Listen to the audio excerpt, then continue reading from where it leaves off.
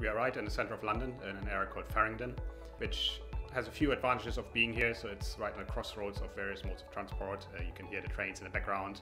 Uh, there's buses going past. Um, there's a new train line being built just around the corner. But it's also the creative heart of London. So there's a lot of startups around here that we uh, collaborate with. It's an environment that sort of stimulates innovation and, and new thinking. The structure of the Innovation Centre is pretty chaotic, but in a very collaborative and creative way.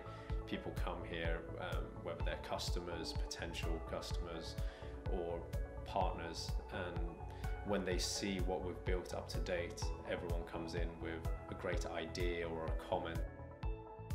It feels like we've been here for a long time, and in fact, it's only been open for about 18 months.